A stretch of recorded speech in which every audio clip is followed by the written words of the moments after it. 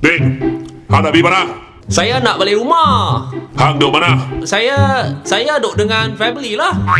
Apa duduk mana? Kita duduk sebelah dengan jiran. Hang jangan duduk cari pasal tau. Jiran hang duduk mana? Eh, jiran duduk sebelah dengan kita lah.